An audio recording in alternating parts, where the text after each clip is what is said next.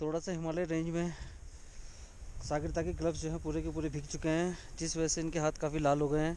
हाथ तो हमारे भी काफ़ी लाल है, पर जो है ग्लव्स का काफ़ी सारा है क्योंकि टेम्परेचर अभी जो है करीब करीब माइनस टेन के आसपास है। और हम लोग पूरी एक दूसरे का जो है बिल्कुल हिम्मत से एक दूसरे का साथ अपना देते हुए, क्योंकि आगे जो है, ये आप देख सकते हैं कि पूरा का पूरा समय सफ़र ऐसे तय करना है।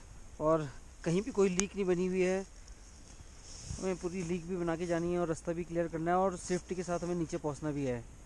बाकी हम लोग आगे कंटिन्यू करते हैं। Thank you